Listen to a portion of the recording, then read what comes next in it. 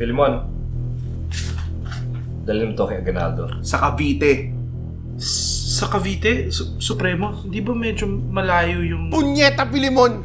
Nakasalalay ang tagumpay ng katipunan sa sulat na yan! Sige po, Supremo. Bilis! Mabuhay ang revolusyon!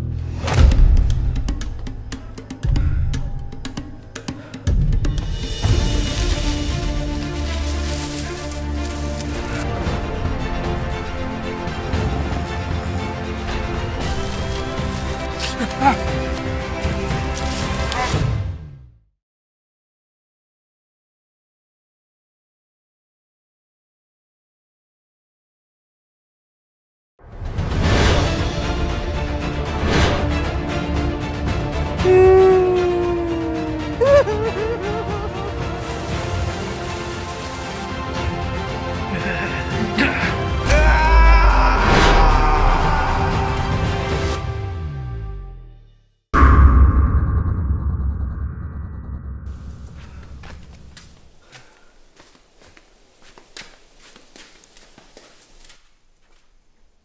General Aguinaldo, meron po ko importanteng mensahe para sa inyo.